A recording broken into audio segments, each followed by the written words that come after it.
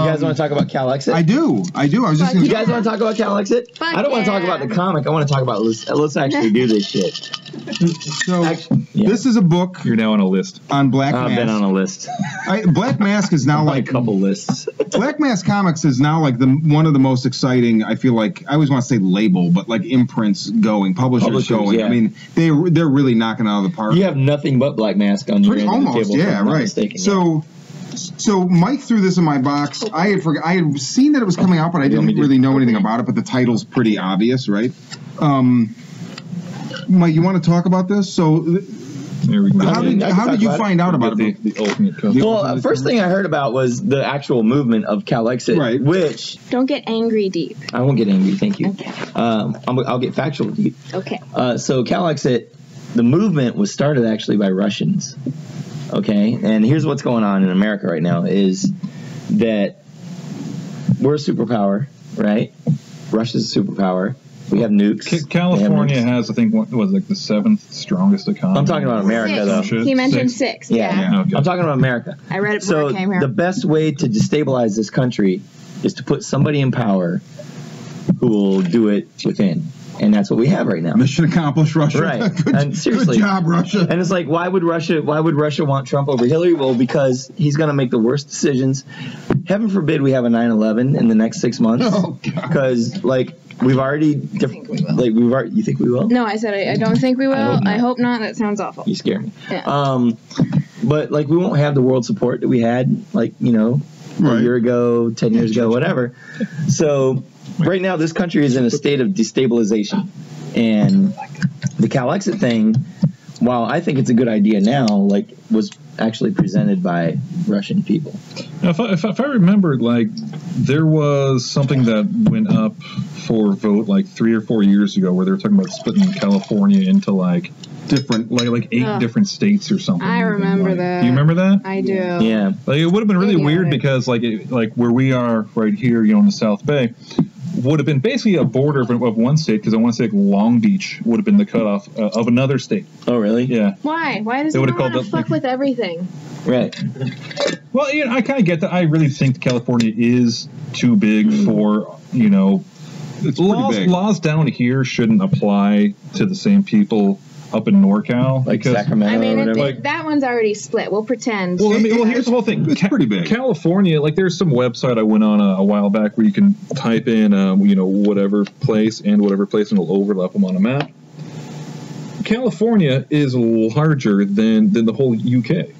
Yeah. Oh, oh, we are? I mean, Yeah. nice. So the UK UK can fit in California and spills into Nevada a little bit, right. but that's that's the whole fucking country. Several Well, years here's, ago- here's I mean, the problem, that's- though. If we split North and Southern California, like I think that would just give one more red state. yeah, that Because the would. It Southern totally California would. would. stay blue, but then there would be one more red state. Well, we have we have us, then we have Orange. County, which would be red. Well, then 'cause we have here's the Sa- thing. San Francisco, which would be blue. Yeah, yeah. Typically, the coastal the coastal areas, which are the more populated areas, are the more kind of blue voting, Metro, voting yeah. crowds. Stop moving here, by it's, the way. It's more the rural. Yeah, I agree with that. I'm Don't gonna, come I'm gonna don't shake come here. this, and then you gotta say your thing. Okay.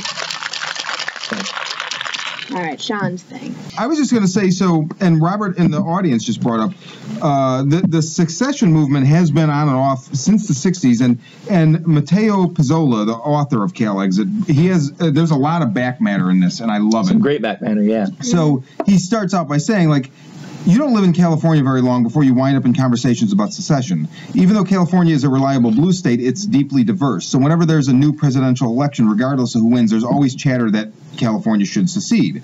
And this goes to the point that there is a lot of California that is not the liberal, you know, like the when I was moving here, people in Chicago were like, "Oh, it's a liberal and blah blah blah blah blah," and it, it, it's it's not. There's pockets of both, right? And I mean, this is I'm not going to go on Well, a political tirade, but I will just say the answer to our political problem is not on the right or left. It's in the middle. It's common sense, and the right and the left have no fucking common sense either fucking side. Now, the extremes of both are just the same thing. They're it's just lunacy.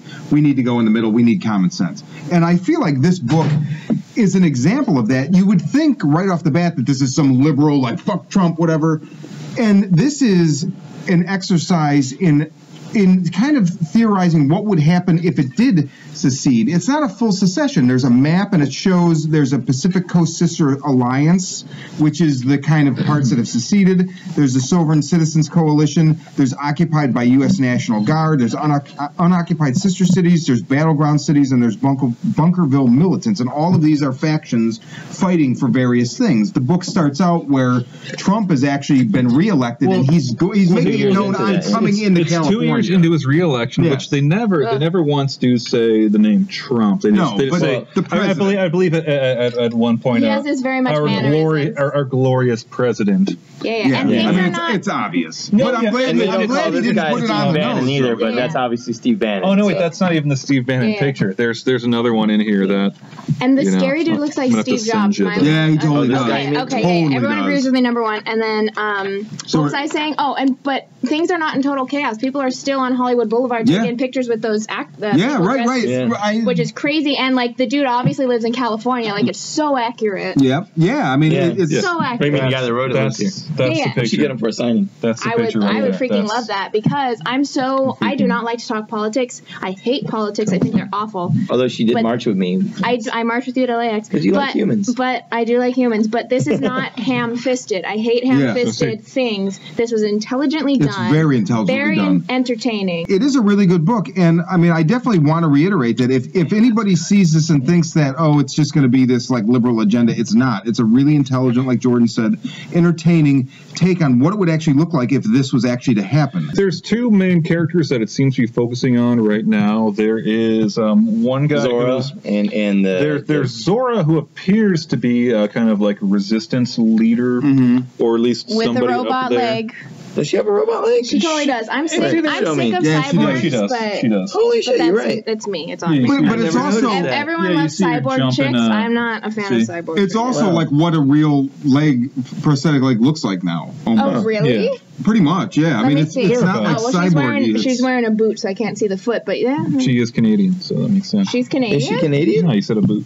Oh, oh. and the other guy is jamil and he's the um, And he's he's, he's, the courier which is basically a drug uh, dealer he's a right? smuggler But of he's a smuggler. sorts. But he's like a, a, a pharmacist because he can't afford antidepressants. yeah So, so, he's it- like, please give me antidepressants that are affordable to me, which is, you it, know. it starts with him basically selling drugs to this uh, Well, you- U.S. Homeland, uh, Homeland Homeland Security. Security But here's the thing, you know what it is though. You know what it is. It's Mhm. Princess Leia and Han Solo. Yeah, Well- yeah, Wait, who's, maybe. wait, who's Princess It Leia, the absolute- it- Homeland Security guy? No, no, no, the girl.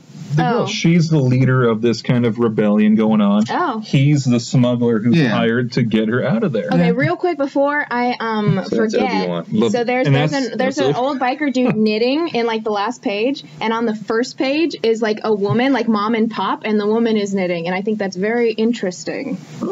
There she is. Oh yeah, yeah, that is Yeah. interesting. Wow. Yeah, because I think that's super mom and pop. Like dad is wearing a sweater vest. Yeah, right. Yeah, I think He's is. you're- handling the radio. Yeah. I guarantee anybody else who read because I didn't know, and anybody else who read this did not I didn't the notice knitting this. But aspect. somebody noticed it. You did. I, I Um, really uh, the the back matter. I, he has an interview. I didn't read all of, it, but he has an interview, interview with Amanda Weaver, who I'd never heard of before, but she's from Chicago, my hometown, and she talks about really grassroots. Um, political like movements and motivation and it's it's really interesting she starts That's out that's the part where they push agendas. no no it's, But that's i the don't back think it is matter. at You can do that in the back matter. She she talks about how she got involved in organizing people was because where she went to school, the school had a deal with Aramark, which is a huge food preparation supply company where students get these student loans and like a large portion of it is forced to go to these meals that they mm-hmm. nobody wants. They're like we don't even we don't Oh, want fuck. this. And so she organized a whole thing against that and she says like we lost but we we won some small battles but didn't win the ultimate battle but it got her into politics. And she talks a lot about this grassroots knocking on doors talking to people for five to eight minutes to see what what they think what their views of their neighborhood are what their views for their family are. And i think that this is all what is informing this book. That's why i think it's like it's very interesting. It's this is the foundation because we see the, the end of the book i don't want to give anything away but we see a community that looks kind of disparate come together in a really big It way was awesome. and it's entertaining Yeah. as fuck i mean you it's mean like the valley up there? yeah, it's, Yeah, yeah, it's yeah. so awesome. Yeah, yeah. Such a great Like, scene. I,